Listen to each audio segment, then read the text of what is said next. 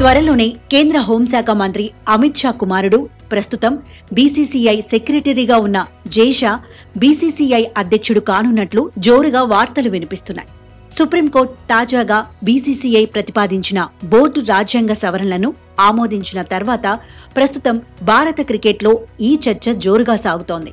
Cooling of పీరియడ్ను రద్దు చేస్తూ BCCI ప్రతిపాదించిన సవరణలకు సుప్రీం ఆమోదం తెలిపింది. దీంతో ప్రస్తుత అధ్యక్షుడు సౌరవ్ గంగూలీతో పాటు సెక్రటరీగా ఉన్న జైషా మళ్ళీ బీసీసీఐలో చక్రం తిప్పే అవకాశాలున్నాయి. దీని ప్రకారం రాష్ట్ర క్రికెట్ అసోసియేషన్తో పాటు బీసీసీఐలో వరుసగా ఆరేళ్ళ పాటు పదవి చేపట్టే అవకాశం ఉంది. ప్రస్తుతం ఉన్న పాలక మండలి పదవీ కాలం ఈ ఏడాది అక్టోబర్తో ముగియనుంది. అక్టోబర్ తర్వాత బీసీసీఐలో మళ్ళీ ఎన్నికలు నిర్వహించి జైషాను అధ్యక్షుడిగా ఎన్నుకునేందుకు రంగం సిద్ధమవుతున్నట్టు తెలుస్తోంది. జైషాను బీసీసీఐ అధ్యక్ష పదవి మీద కూర్చోబెట్టడానికి దాదాపు పదిహేను రాష్ట్రాల క్రికెట్ అసోసియేషన్లు మద్దతుగా నిలుస్తున్నాయని కథనాలు వస్తున్నాయి.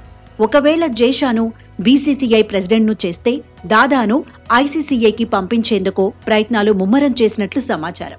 అయితే వచ్చే నెలలోనే ఐసీసీ అధ్యక్షుడు గ్రెగ్ బార్కే తన పదవి నుంచి తప్పుకొనున్నాడు. దీంతో గంగూలీని ఐసీసీ అధ్యక్ష పదవిలో కూర్చోబెట్టి జైషా బీసీసీఐ సింహాసనం అధిష్ఠించేలా సన్నాహకాలు జరుగుతున్నాయని బోర్డు వర్గాల ద్వారా తెలుస్తోంది.